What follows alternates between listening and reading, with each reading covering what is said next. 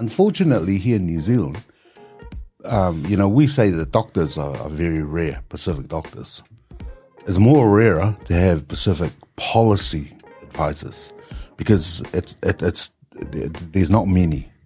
Uh, it's the most rarest positions in government is the number of Pacific policy advisors because how policies are made is basically like this. Politicians will tell the government departments, here, we want this done. Then the bureaucrats, or the policy advisors, and they go and develop it. Now, how they develop it is based on their lens, how they see the world. And if they've never been to South Auckland, then I bet you they'll be developing it for Epsom.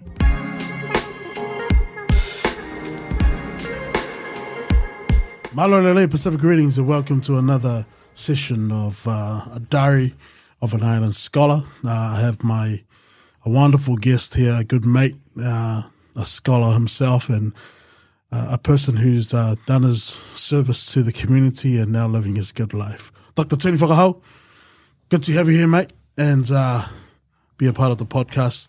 Thanks, Noa, and yeah, I guess I'll, I'll hand it over to you if you can just introduce yourself, where you're from in, in, in, the kingdom, just in case you might have some relatives out there, sure. and uh, we'll go from there. Yeah.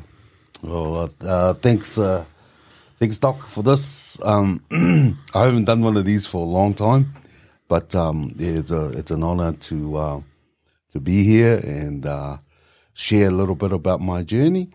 so my name is my real name is Pauliasi Fakahau. Um, I'm got a bit of Fijian in me, so I was named after my Fijian grand uncle. My mum, my dad is from uh, Folaha, and my mother is from Mafanga and uh, Hasimi. So um, that's where I'm from. We came to New Zealand when I was about four years old, mm. so I was part of the Dawn Raids era. Um, I think we got here about 1977, and um, yeah, that's that's a bit about. Oh, I'm in the part of the church. I don't go to church, but uh, yeah, I'm a Sistonga Taina boy, Free Church of Tonga. So um, yeah, that's mm. about that's me. Awesome. Four years, four years old when you uh, arrived to Aotearoa from from the kingdom. Uh, very young and still adapting to a new society, and then you're going through the whole Dawn Raid um, events. Do you yeah. have any memory? Oh yeah, it was funny because um, about two weeks ago, I I drove um, around my old neighborhood where we first lived, and it was in um, Ellerslie Highway. And there's uh they've got a they've got these hotels uh, well motels there, um, the Ellerslie Highway Motel, but at the back is where we first lived, and then moved around in some of those other flats there. So I actually drove around just to have a look because uh, remind I remember those were the places where my parents would um, would run. You know, will take us. We'll go and hide in one flat while the immigration and the police will, you know, you know the Tongans call it hua or, mm. or you know search while they were searching for um, the overstayers. So yeah, it was it was interesting. Uh, th- those were dark days, mm. you know, difficult days. But um, you know, I what I do remember is when I first landed here, is seeing those uh, two cent coins, one cent coins in there, and they were throwing them around. And the first thing I did was crawl around and pick all those little coins up. you know, I came, you know, coming from the from the village, you hmm. know, and then land here, and to see that, and then uh, and then to go to the supermarket and see, you know, how the fruits you know, and you know, just how how much how there was plenty of stuff here mm. That we weren't used to. So yeah, it was quite a shock. Your schooling days, um, which primary, intermediate, and secondary school did you attend? Yeah, my, I first went to um, Ellerslie Primary School. Um, back in those days, there was you know before they developed Ellerslie, Ellerslie was like the was a big Pacific community, Tongans, Samoans, uh, and Maori community all around the area. And we lived across from Ellerslie Primary School, uh, Colmere Street.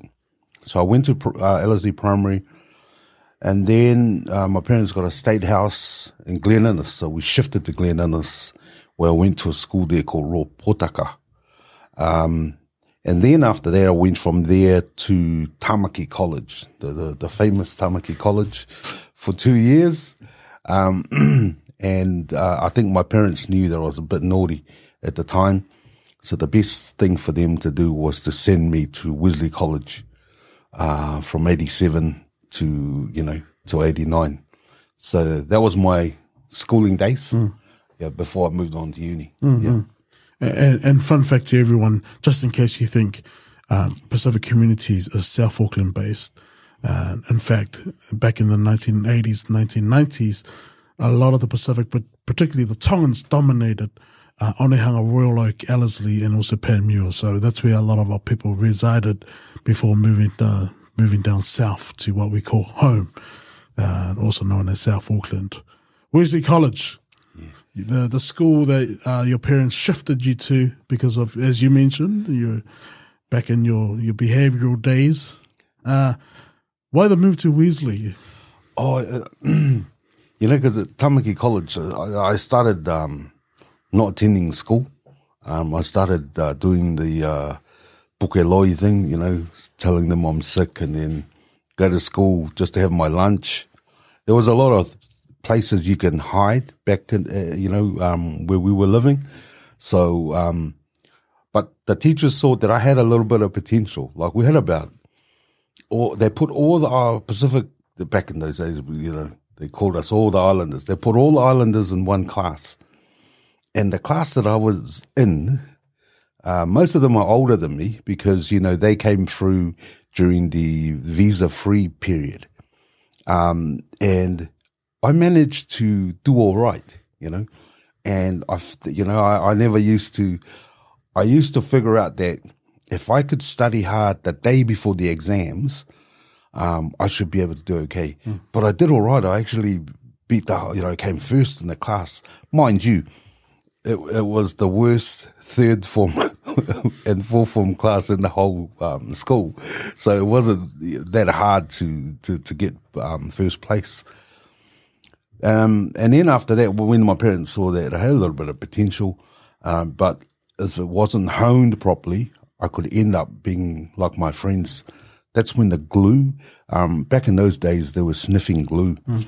and we had the bop, you know, we had this thing called the bop. Rap just started coming in a little bit.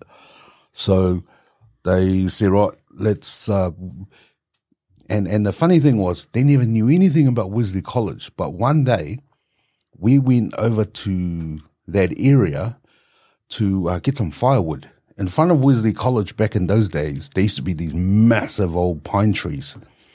So my parents and my uncles used to go there quite a bit to get the firewood, you know, um, because it was there for free. And they keep looking at the sign, oh, you know, all the time keep looking at it. And then one of my old teachers at um, Tamaki College told me about it and said, why don't you go and drive up? Next time you're going to get firewood, drive up. So we did. And from there, we found out, you know, it's a boarding school. It's good for naughty boys. So, um, yeah, that's what happened. Uh, following year, my parents said, right, you, no more farm work for you. Cause I then started doing farm work. They sent me to go do farm work. That's hard work, man. It, it, I've, you know, I've, I've never experienced hard work until working on the farm during the holidays from school because um, we needed some extra money.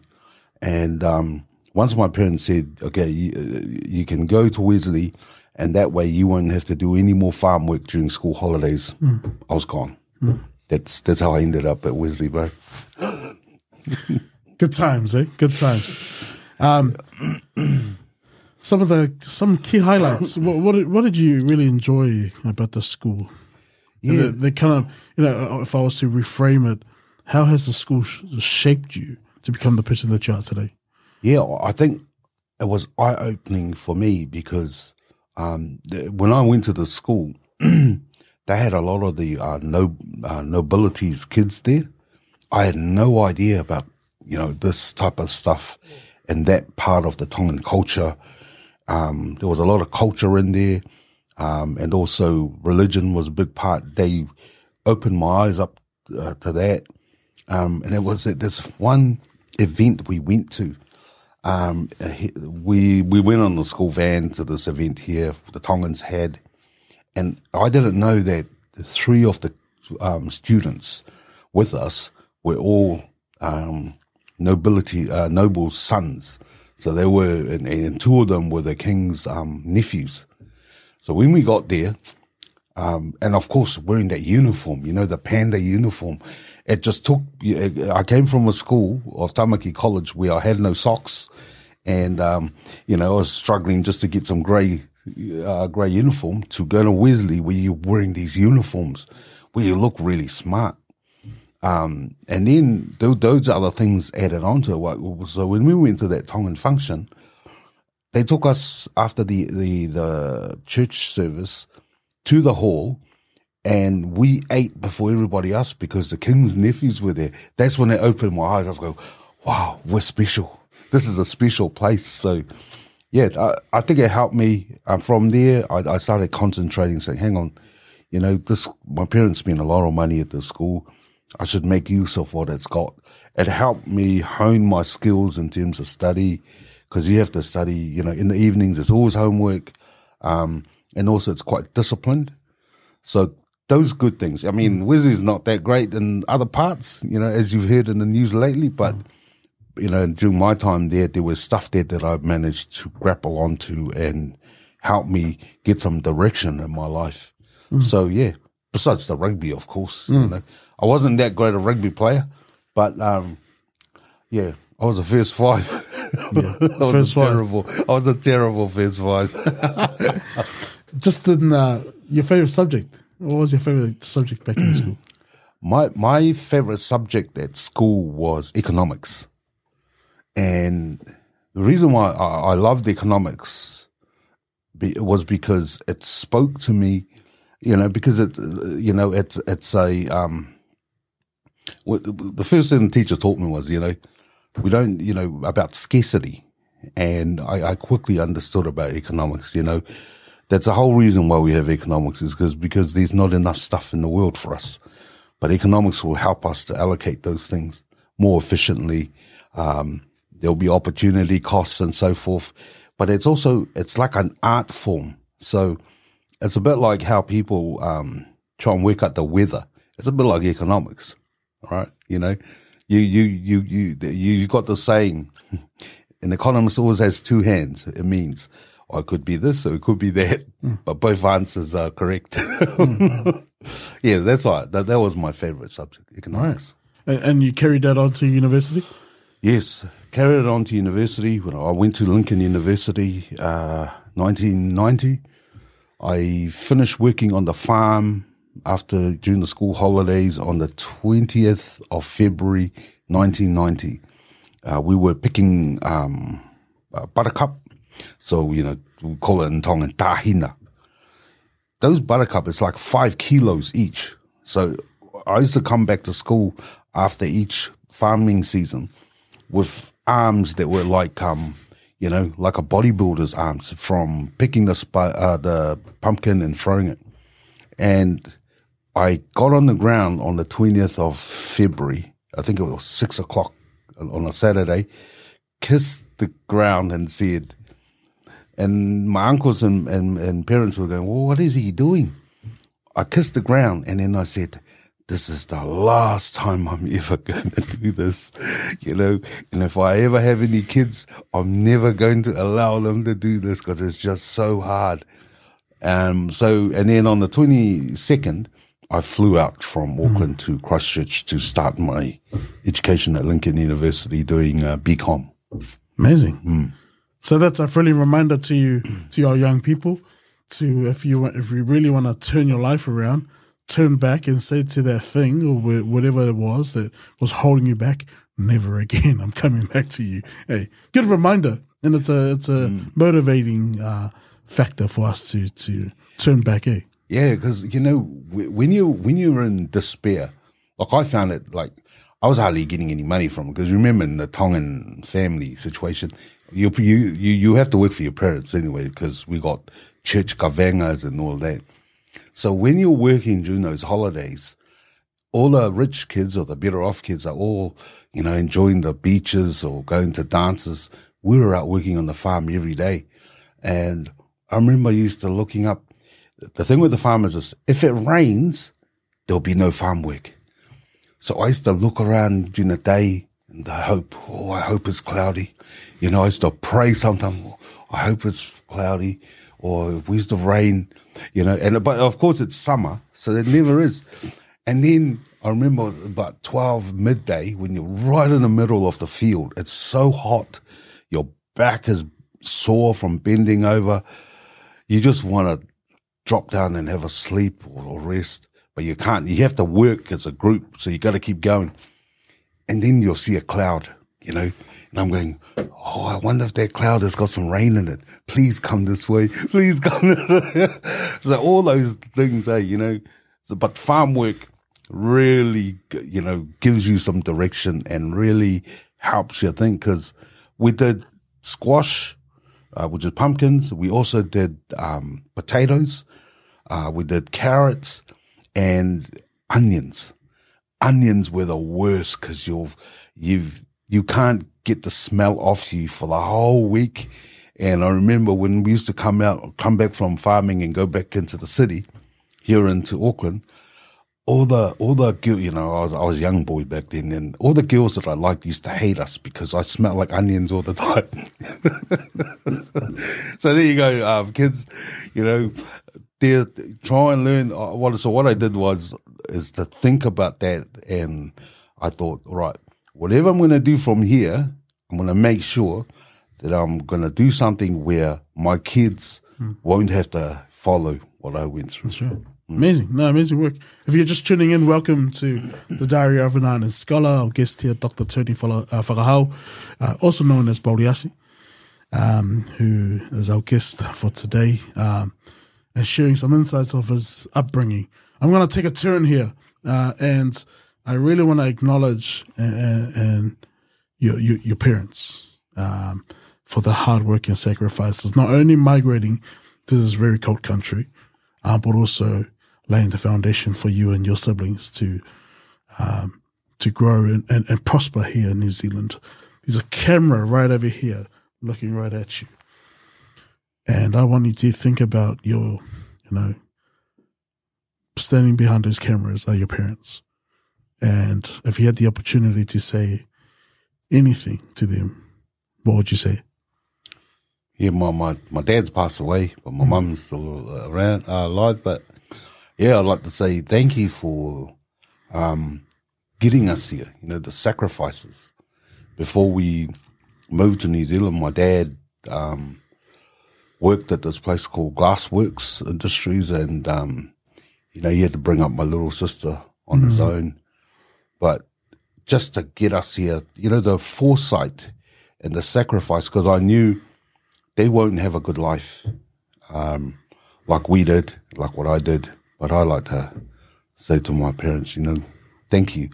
And and I promised, and the promise I made my dad is that, you know, we're going to make the most of it, mm. And we'll never forget um, to make sure that his legacy continues, and that he won't be disappointed in us. You know, maybe he'll be disappointed in me, but my but the kids, the grandkids, will will be fine. Yeah, amazing, and and that's pretty much our journeys. Mm. You know, mm.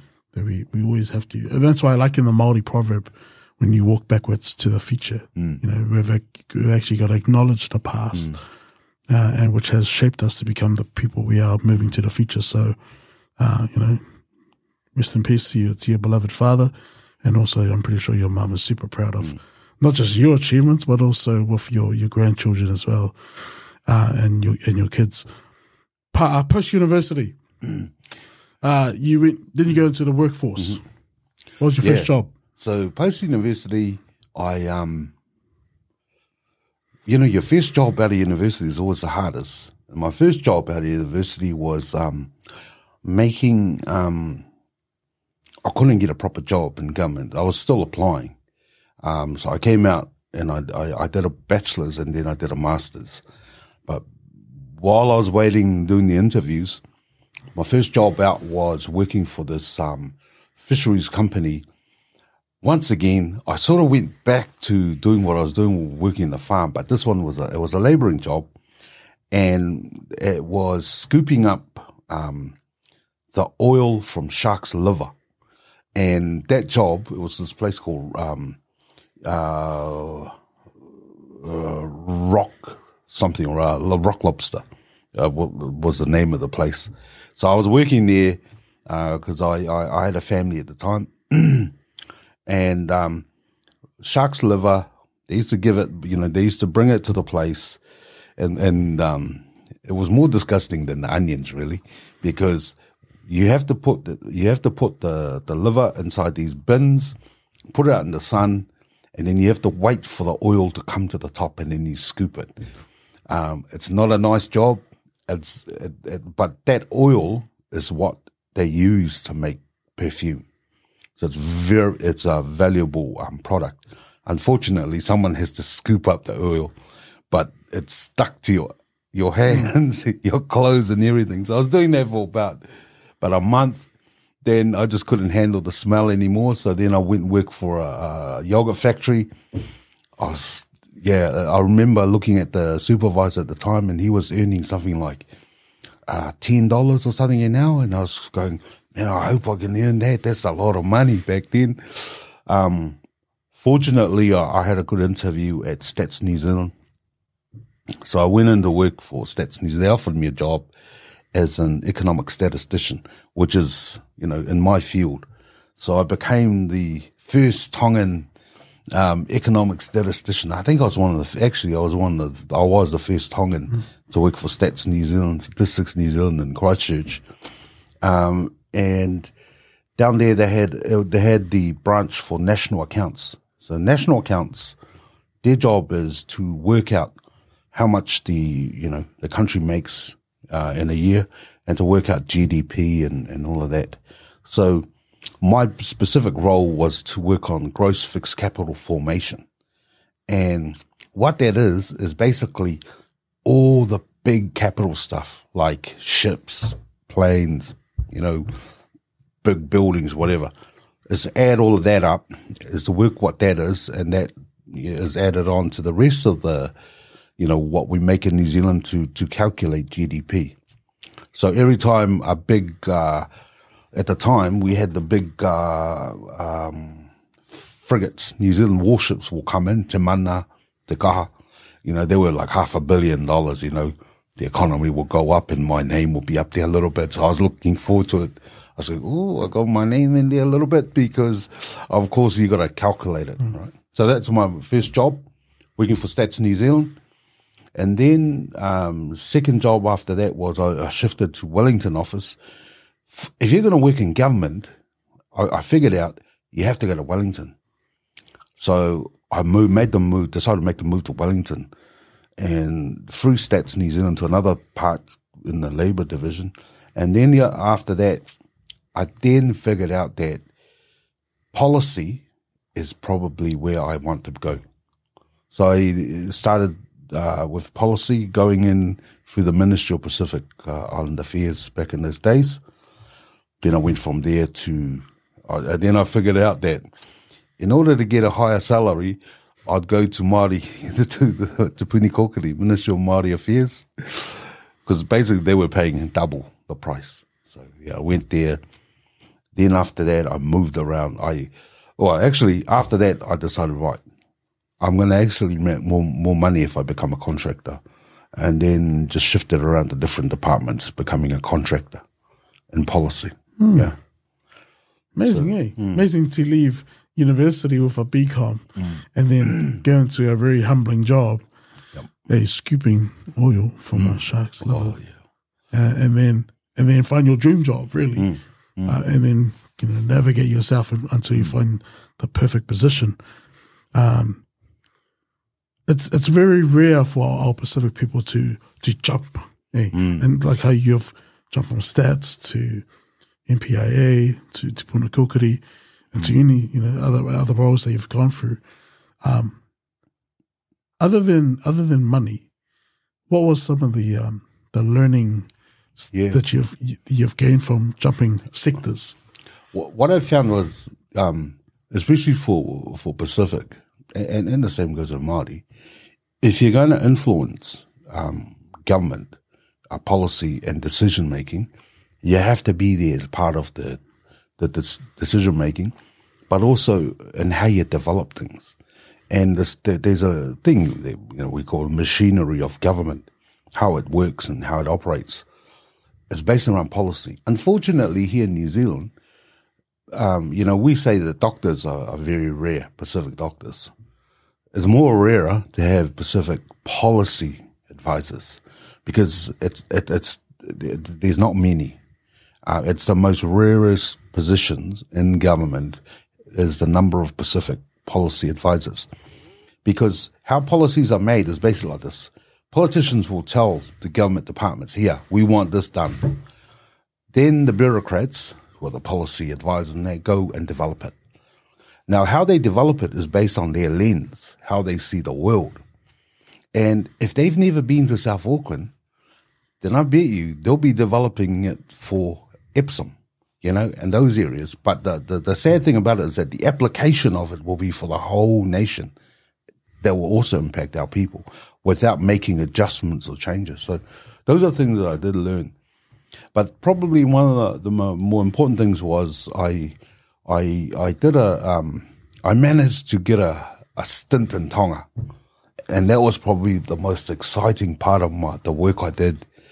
Um, at the time, Tonga, Tonga was going through some issues, and um, I was contractor. I was a contractor in Wellington at the time for one of the big departments, and then an opportunity came up to go solo to Tonga, and basically, the Tongan government at the time they were, you know, they didn't have a lot of cash, a lot of money, and they were looking for some support. So um, I joined another group here. We went over, and our solution for Tonga was maybe you need GST. Look, and, and and that has a lot to do with my PhD afterwards, right? But back then in 2005, I was across with a team from Wellington to introduce GST to Tonga. They call it uh, it's a consumption tax. So GST is basically a value-added tax, right? So because I did a stint at the IRD, so I knew about it. So we went over, taught the the, the community, the, the the businesses, um, and also the government about how this will work, because the way in which the tax system was being run in Tonga was diabolical. Um, but we tried, we made sure that they'll have a good system. Um, and instead of relying on income taxes and also taxes at the wharf, like customs duty and all that, just use um, uh, consumption tax or, or GST. So they went from having, you know, their revenue at the time was something like 18 million. They went from 18 million, and then when we introduced uh, GST or consumption tax, they went up to about 120 million. So you know, you know, we were the flavor of the month. You know, um, they loved it, they enjoyed it, and and, and Tonga still continues to run with that system. So that's when I got back to Tonga, learned a lot.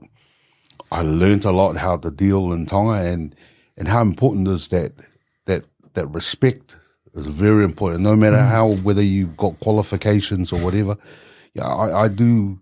You know, I do see a lot of young people go back there and struggle. But you know, if you just follow a few key things, just keep quiet, listen, watch who's around first before you start doing stuff because you know Tongans are very that's how how we are.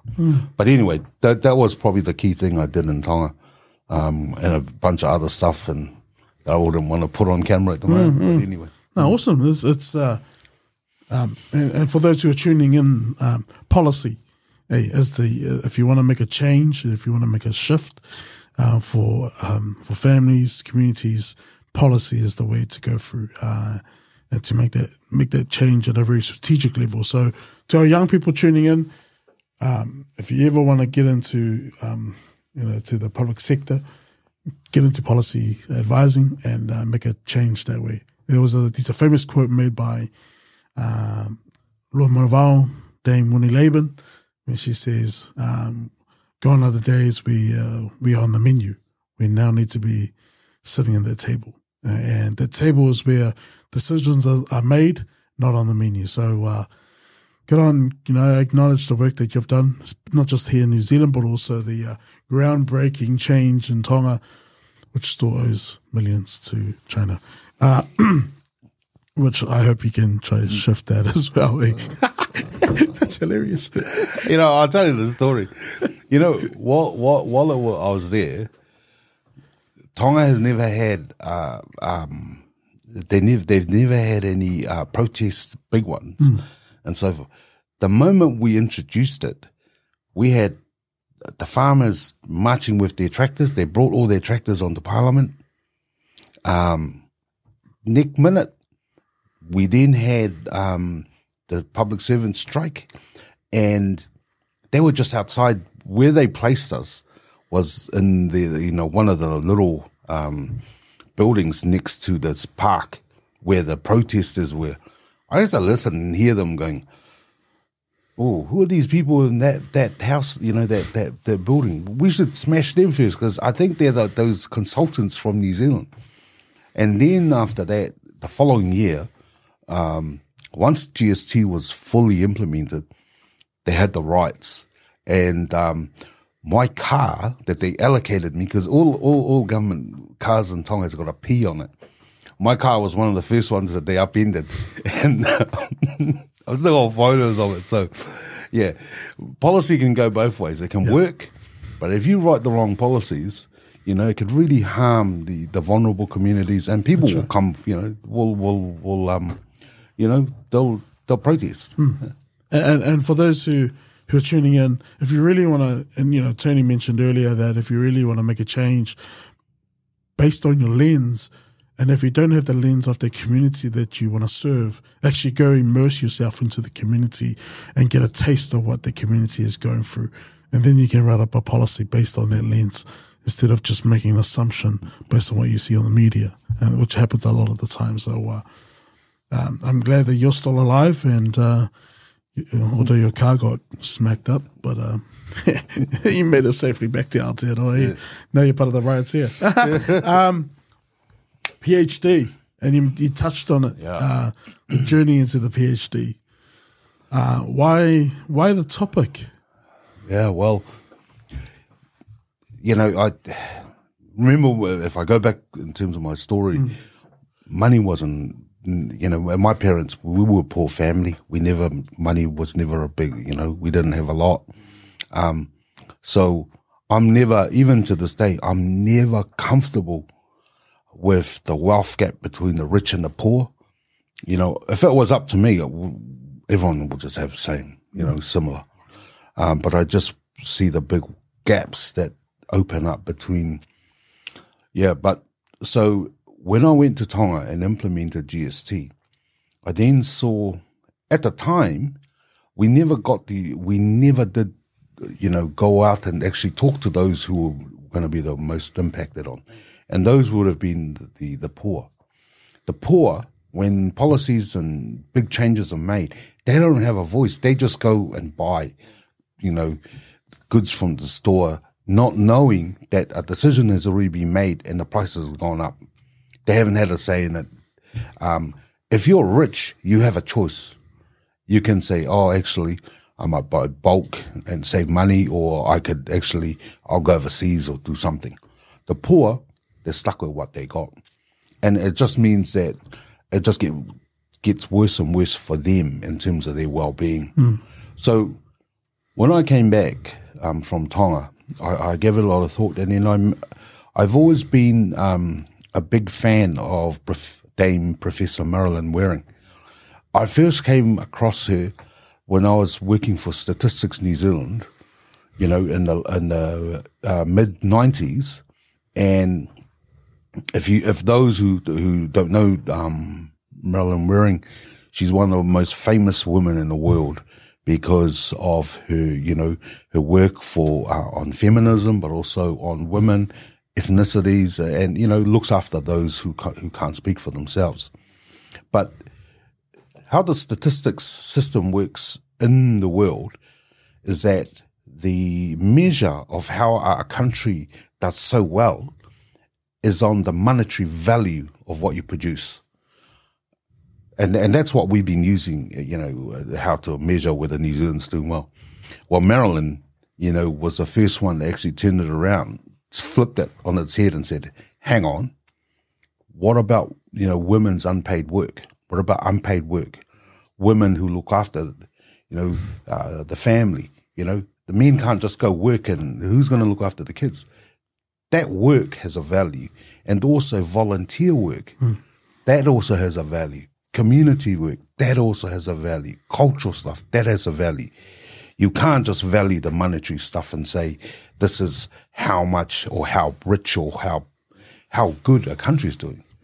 So I read that back in the mid nineties, and then I met Marilyn in, again in two thousand and eight when I came back from Tonga at a conference, and um, I presented to her on GST, and uh, I tried to say, "Oh, you know, this is, look how good they're doing," but she posed this question. She said, "Yes, have you spoken to those who are the most vulnerable and those who have impacted on?" I couldn't answer that, and then her and I had a good chat about it, and then she said, "Maybe you should do more work on it." And yeah, that's how I started thinking about the PhD and also it was a um, an, a promise that I made to my father mm. before my dad died. One of the things he said to me was, "Son, I want you to finish your study." Uh, because I had kids before um, before I finished my studies, so I did make a promise to him before he died. So I think it all came together at the right time, and then I went and did some work in the NGO sector. It didn't work out. I don't think it was for me and then came back into government in 2017 and then um, yeah started and that's why I met um, uh, Dr. Edmund here um, we started on that journey and it was an eye opener for me because um, when I remember you know that the two uh, main academics that had a big influence on my study um, was um, uh, Tangaloa, Peggy Fairbairn, Professor um, Tangaloa uh, Peggy Fairbairn. She was awesome. And um, uh, Dame Professor Marilyn Waring. You know, those two, um, if, if it wasn't for them, I don't think I would have finished it, mm. you know. So. No, good yeah. job. Well done. And uh, mm. again, congratulations on reaching the pinnacle and making that dream come true for mm. you for your father, mm. um, and, and, also your the family. And as, as, you know, in our Tongan culture, and also in, in many uh, many Pacific cultures, uh, reaching the, the pinnacle is, of education is is the dream and aspiration of our parents who migrated to this country. So, for those who want to do a PhD, um, do it seriously. Um, time will fly. The support systems are are amazing that are already put in place at the moment. So um, there's no, you know, the only thing that we can control is a time. And if um, once you have the time, you can. I think everyone should do um, some sort of study and further the education as well. So, in terms of um, advice for for our students who who may be pursuing PhDs, um, what what you know, if you had a couple of of advices, what would you give them? Try and enjoy it. Mm. I reckon. I think you know, uh, you know, maybe I was a little bit biased, but coming back into studying after so many years, I, I was actually so amazed because during my time, when I was doing a, a postgrad in the nineties, to get an article, it took me three months because we used to we used to write to England and ask them to send an article by a book or, or, or, or photocopies. Now it's all in front of you. You know, it's in you know, press of a button, really. Um, and just the amount of support, like you were saying, um, that students get now and the peer support around you is a lot stronger. And I think for, for those who, in, who, who want to do it, make use of it. And you know, those groups that we used to have those, we used to have those Pacific, um, uh, groups and then we had the potluck groups. Um, make use of them because each group adds value to what you're doing. Um, and and and the other thing is, the timetable, you just got to make sure you stick to your timetable. Um, don't be, you know, uh, don't be um, too worried that oh, am I heading in the right direction or, or whatever. If you do more than enough uh, research, you know, it'll come to you. Hmm. You know, it's in there. So yeah, that that's probably it. But but enjoy it. You make the most of it because you, you're not going to be there forever. One day you're going to miss being a student, and I actually still miss it, and I wish I can go back and do it again. Every, everyone asks why. Uh, um, last last one, bro. Uh, and I know you have um, you have children, and also uh, a growing list of your grandchildren as well. Um, this is a perfect opportunity for for you. One day, you know, we won't be here, um, but this podcast will, and it will. Hopefully, they'll stumble across it. eh? yeah. if they have the opportunity to stumble up, upon our, our, our Talanoa today and you had a message for them, this camera, what would you say to them?